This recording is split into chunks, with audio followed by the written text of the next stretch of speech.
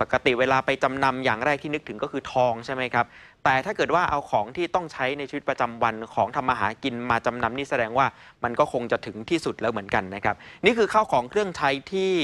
ถูกนำมาเก็บไว้ภายในชั้น 3 ที่สถานธนานุบาลเทศบาลนครเชียงใหม่หนึ่งครับ หลังชาวเชียงใหม่ที่มีความจำเป็นต้องใช้เงินนำมาจำนำเอาไว้ที่นี่ บางชิ้นนี่ถูกเก็บมานานกว่า 10 ปีก็มีนะครับ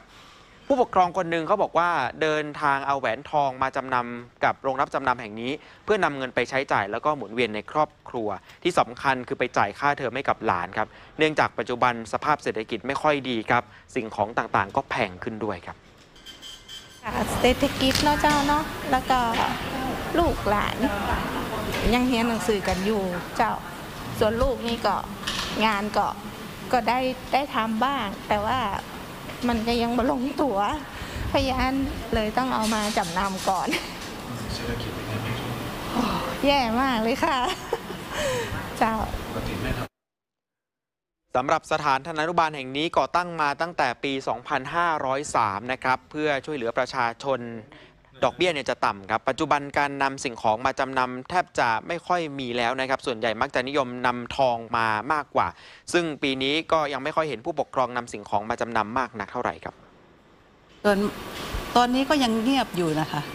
อันที่จริงใกล้เปิดเทอมก็น่าจะมา ช่วงนี้เรื่อยๆ ไม่คึกคักเหมือนปีก่อนๆนะคะ ปีก่อนก่อนที่โควิดจะมานะคะ ตั้งตั้งหลังโควิดนี่เงียบเนี่ยค่ะเนี่ยนี่กำลังแสดงให้เห็นกันอะไรอืม แต่บางคนไม่มีอาจจะไม่มีไม่มีอะไรมาจำนำแล้วอะไรอย่างเงี้ยอาจมีส่วนนะคะ คือหนึ่งอาจจะมีแต่ช่วงนี้เศรษฐกิจไม่ดีก็ยังไม่อยากลงทุนใช่ไหมคะคนที่มาใช้บริการเราช่วงนี้ก็คือที่ขาดแคลนใช้ในชีวิตประจำวัน เล็กๆ น้อยๆ อะไรประมาณนี้ค่ะการลงทุนรายต่างๆไม่ไม่ค่อยเห็นมานะคะ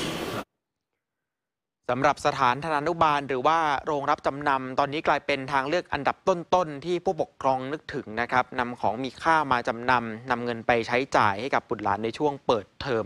แม้เปิดเทอมปีนี้คนที่มาจำนำอาจจะยังไม่มากนัก แต่ว่าโรงรับจำนำที่จังหวัดเชียงใหม่ ก็ได้เตรียมเงินสำรองหมุนเวียนเอาไว้ 100 ล้านบาท เพื่อให้เพียงพอต่อความต้องการของประชาชนที่มาใช้บริการนะครับส่วนดอกเบี้ยอัตรายังคงเดิมนะครับ คือของราคาไม่เกิน 5,000 บาท ดอกเบี้ยก็จะอยู่ที่ร้อยละ 0.5 สตางค์ หากเกิน 5,000 บาท ร้อยละ 1 บาท โดยขยายเวลาให้ไถ่ถอนได้ภายใน 4 เดือนครับ ซึ่งเป็นการช่วยเหลือประชาชนที่ดำเนินการมาตั้งแต่ช่วงสถานการณ์โควิด -19 แล้วครับ